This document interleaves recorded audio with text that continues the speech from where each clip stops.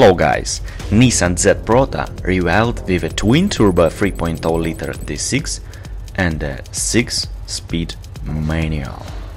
The new model should go on sale in 2021.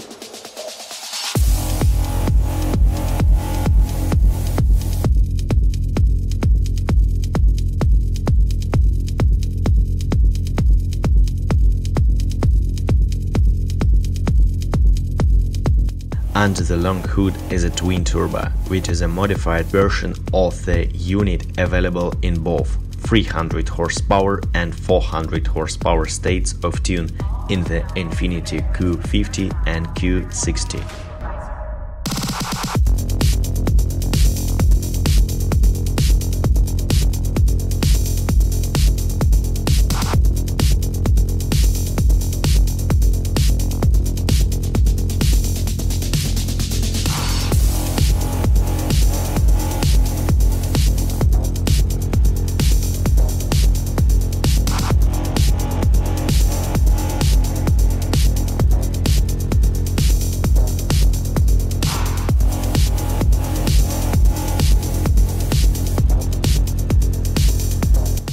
When the 4000Z production car arrives sometime in 2021, I expect it will start in the mid of $40-$100 range, notably based on the 4 and 6 cylinder Supra model, and I hope it will be worth the wait.